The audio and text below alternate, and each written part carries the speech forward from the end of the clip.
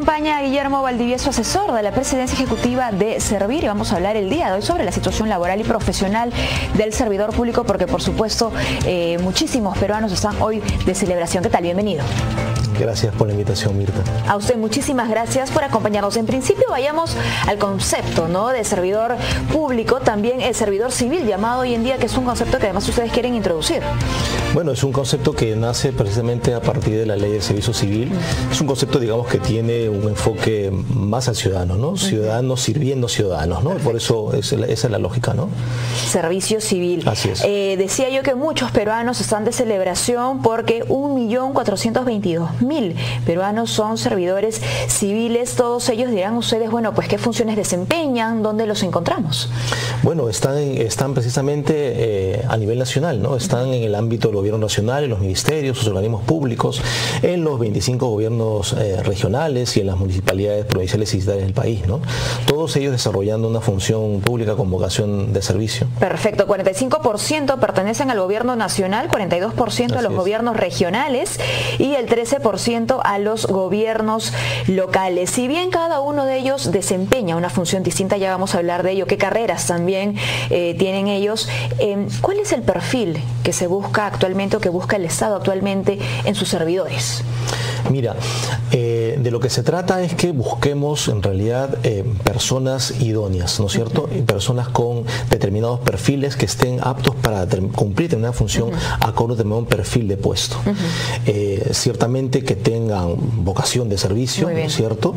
Y que sobre todo, y es lo que particularmente estamos diciendo, personas que sean probas en sentido de actuar con integridad, personas que ciertamente puedan, digamos, brindarle un valor agregado a la actividad pública que tiene que tener un enfoque de calidad hacia los, en los servicios que prestan a los ciudadanos. Muy bien, que estén abiertas, por ejemplo, hacia em, la formación, eh, la perfección también, claro, porque Servir también se encarga pues de que sus profesionales cada día eh, mejoren a través de capacitaciones. Exactamente, y por eso Servir cuenta con una escuela, la Escuela Nacional de Administración Pública, que es una escuela que ah, va adquiriendo progresivamente una mayor presencia, no solamente en el ámbito nacional, sino además en el ámbito internacional, gracias a, los intercambios de experiencias y de cooperación que tenemos con varias escuelas en el, ámbito público.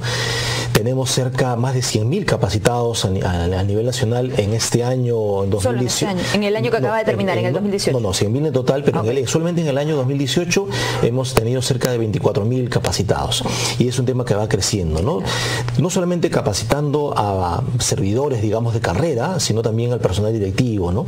Que es el que precisamente eh, participa en los procesos, en el desarrollo de programas, de cursos, que son además gratuitos. ¿no? Claro, tenemos, bueno, dentro de, los servidores públicos ¿no? Eh, o civiles, a funcionarios públicos, a los empleados de confianza, ¿no? los directivos, como decía usted, los ejecutivos, los especialistas, los de apoyo, todos ellos. Ahora, para que nuestros servidores públicos puedan hacer uso ¿no? de beneficios como la Escuela Nacional de Administración Pública, ¿cómo es ser parte del servicio civil?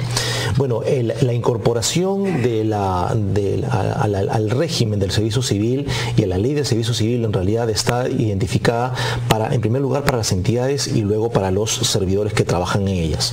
En el caso de las entidades hay un proceso gradual. Tenemos a la fecha 454 entidades que están ya incorporadas, están en proceso de incorporación al régimen del, servicio civil, de los cuales hay tres entidades que ya están en el régimen del... Trece.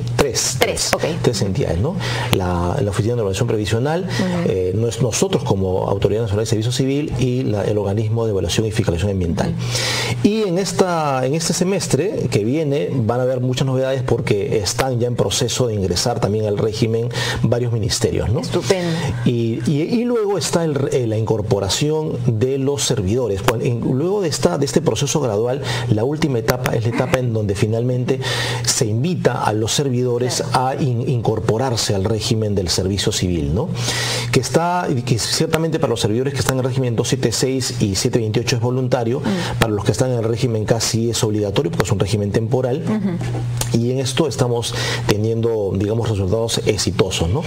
Esto va a significar ciertamente el ingreso al régimen de servicio civil, mejores compensaciones económicas, mejores capacitaciones, el tema de la escuela que mencionaba usted, entre otras cosas. Por supuesto, eso es lo que queremos entender, ¿no? ¿Cuál es el significado? ¿Por qué es importante? ¿Por qué tenemos que eh, alentar ¿no? a nuestras entidades eh, públicas para que sean parte del servicio civil? Por ejemplo, usted hablaba de algunas que están en proceso y otras que ya son parte, ¿no?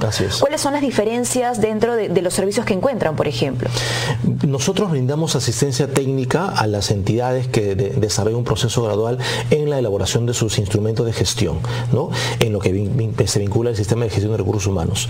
Apoyamos, eh, apoyamos en la elaboración de sus cuadros de puesto de la entidad, mm. apoyamos en la elaboración de sus manuales y ya en la cuarta etapa, que es la etapa precisamente de la, del ingreso de los trabajadores, de los servidores civiles, eh, asistimos en la, en la formulación, en la asistencia para la conducción de los concursos. Eso, nosotros, de selección. Exactamente, nosotros apostamos por la meritocracia, ¿correcto? Precisamente la lógica de contar con personal, con personas idóneas, que además tengan habilidades y actitudes en el desarrollo del servicio civil, de sus, en, sus, en sus actividades y que tengan esta orientación de resultado, procuramos procesos meritocráticos que enfoquen a identificar estas habilidades, estas, estas competencias y eh, capacidades actitudinales. Bueno, y queremos además obviamente ser eh, consecuentes, ¿no? Como, como país, como Estado, porque si bien pedimos por un lado eh, autoridades, ¿no? que tengan meritocracia, queremos también pues que nuestros servidores vayan por ese mismo camino. Sí, exactamente, exactamente. Y además un, un, aspecto a mí que no debe dejar de dejarse de lado es el tema de la igualdad de oportunidades. ¿no? Ciertamente procuramos que las personas que acceden al servicio civil tengan oportunidades para los aspectos del ascenso, para los aspectos del traslado, para los aspectos de la capacitación, ¿no es cierto? De tal forma que nadie se quede atrás, ¿no? Siguiendo con lo de las oportunidades, tengo aquí algo que me, encantaría usted nos comente, ¿no? Eh, se han financiado estudios de maestrías y doctorados a 246 servidores públicos. ¿Cómo así pudieron acceder a ese tipo de, eh, ventaja? Sí, bueno, tenemos nosotros un, programa muy interesante que es el programa Reto Excelencia. Un programa en que nosotros brindamos créditos a, eh, los servidores civiles que quieran hacer estudios en el extranjero y en este caso puedan que ellos este, accedan o hayan sido admitidos por alguna de las 400 mejores universidades del país. Lo que hacemos nosotros es evaluar, digamos, las condiciones personales, los, los, aspectos de orden económico y finalmente otorgamos un crédito. Y eh, este crédito puede convertirse en una beca lo que es porque si esas personas regresan, a regresan al país y trabajan en una entidad pública en un periodo determinado de tiempo, pueden obtener un, descuento de hasta el 100% de la, eh, del crédito otorgado. Eso es un aspecto que ha merecido que el 90% de personas que han que regresen a brindar servicios para el y estén trabajando en el Estado. ¿no? Hay ciertamente hay un valor agregado porque además los estudios que, desarrollan estas personas en el extranjero precisamente eh, eh, vuelcan su conocimiento experiencia en aquella actividad precisamente en el sector público donde están trabajando. Entonces hay un valor agregado no solamente para el estudiante, sino también para la entidad que recoge. Y además hay un tema adicional. Estas personas también colaboran con la escuela porque están eh, aptas para poder desarrollar procesos de capacitación o de intercambio de experiencias o de transmisión del conocimiento que han adquirido a otros servidores de su propia entidad o de, que, de aquellos que están en el ámbito del conocimiento que ellos han adquirido en el extranjero. ¿no? Estupendo. Bueno, este sin duda es un incentivo ¿no? que se encuentra para trabajar eh, como servidor público, pero hay además otros incentivos. En la actualidad podríamos decir que eh, más eh, chicas, chicos, jóvenes egresados de universidades, bachilleres, titulados, encuentran en entidades del Estado oportunidades. Sí, mire, yo creo que el tema de haber apostado por eh, crear o digamos consolidar un sistema administrativo de gestión de recursos humanos y de implementar toda una reforma en el servicio civil ha merecido que haya una mayor atracción, sobre todo en los jóvenes, en incorporarse al Estado. ¿no? Hay un incremento significativo de personas que con, con estudios universitarios completos que están incorporándose al servicio. Eso nos da muestra de que el servicio civil empieza a ser más atractivo. No solamente por el hecho de las mejores compensaciones o el tema de las capacitaciones y lo demás, sino además porque ciertamente hay una vocación precisamente de estas personas de hacer un cambio en las entidades del Estado. Sobre todo porque estas ahora lo que, lo que buscan precisamente es esta mirada, no solamente de desarrollar sus actividades en función a un puesto de trabajo, sino mirar al ciudadano, ¿correcto? Mirar el que, que, la, que su calidad de vida, que su bienestar sea cada vez mejor.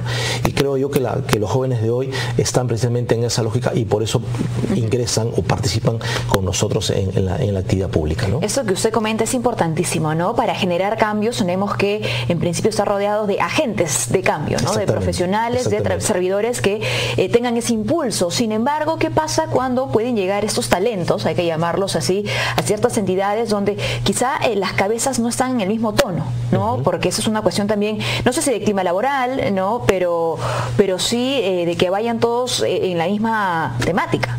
Bueno, lo ha mencionado eh, Juan Carlos Cortés, en una, el presidente ejecutivo de Servir, en una última entrevista. ¿no? Hay un tema de un el, todo este proceso de reforma supone cambio de chips, un, cambio, cultural, ¿no? que es un proceso progresivo. Ciertamente yo aspiro a que precisamente este grupo humano, que es digamos el motor del cambio en el, la fuerza. correcto, sea la fuerza que pueda cambiar mentalidades de nuestros directivos, de nuestros funcionarios y que digamos como un solo equipo pueda mejorar la calidad de la institución, fortalecer la institución que es lo que tanto necesitamos en nuestro país. Por ello que son importantes las capacitaciones no solamente en cuanto a lo técnico, no a los procesos, sino también hay capacitaciones para esto que usted menciona, para el cambio de chip, para eh, modernizar el Estado y lo que significa modernizar las entidades del Estado. En eso incidimos mucho, ¿no? El tema de competencias, habilidades, ¿no? los, aspectos vinculados al liderazgo, a Las habilidades blandas. exactamente, habilidades blandas, ¿no? Que es un aspecto que ciertamente el, tema, el tema del conocimiento es importante, pero eso tiene que, tiene que también aparejado al cómo hacerlo, al cómo hacerlo, pensar en el, en, el tema de, trabajo en equipo, en el tema de la, digamos, del, globo que significa la entidad y del fin que busca hacia la mejora del bienestar de los ciudadanos y ciudadanas del país. No se puede hablar pues sobre los servidores públicos ¿no? y su situación actual en nuestro país sin eh, mencionar cómo van sus derechos, ¿no? junto con sus deberes, por supuesto. Bueno, es ciertamente un tema que también forma parte de esta progresividad, ¿no? Como hemos mencionado, eh, hay ciertamente mejoras en el ámbito de la compensación cuando, las cuando los servidores ingresan al régimen del servicio civil. La idea es pues, precisamente que el espacio público, correcto, sea igual de atractivo que, el, espacio privado, ¿no? Y que genere igualdad de oportunidades precisamente para todo aquel que quiera desarrollar una actividad en el, servicio público. Claro, dejar atrás ¿no? estas oraciones eh, en las que se ofrecen trabajo diciendo, bueno, pero esa es una entidad del Estado. Exactamente. ¿no? Para que los chicos no, no, se, no se desanimen por ese lado.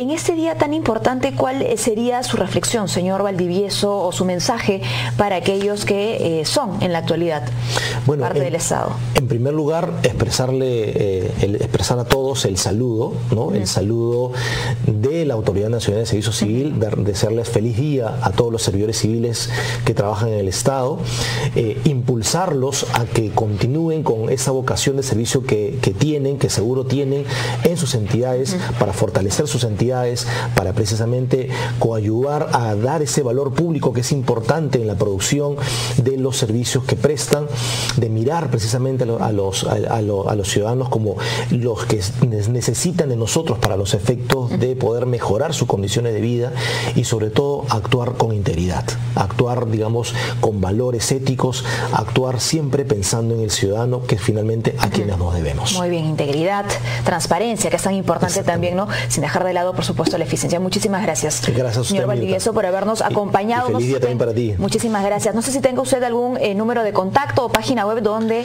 puedan informarse nuestros televidentes sobre los servicios. Sí, www.servir.gb.p. Ahí estamos, ahí encuentra todas eh, nuestras, este, todos los, instrumentos de gestión que contamos, los servicios que prestamos al servicio de todas eh, las entidades públicas. Muchísimas gracias. Gracias a usted conversado con Guillermo Valdivieso, asesor de la presidencia ejecutiva de Servir. Aquí continuamos con más información.